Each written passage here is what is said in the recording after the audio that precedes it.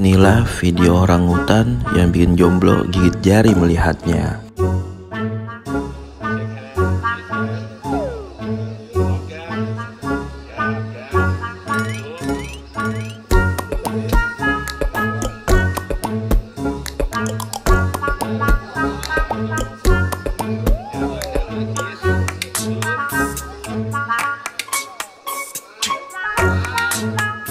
You.